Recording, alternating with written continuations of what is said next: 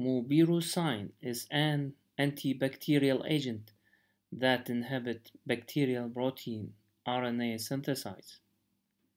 In addition, it is less effective on DNA synthesis. Mupirocin is effective against most gram-positive aerobic bacteria, including MRSA. Mupirocin prevent bacterial growth and replication, and it is bacteriostatic.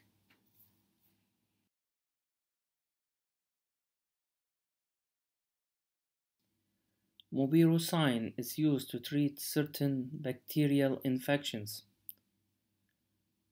impetigo, and nasal colonization of Staphylococcus aureus.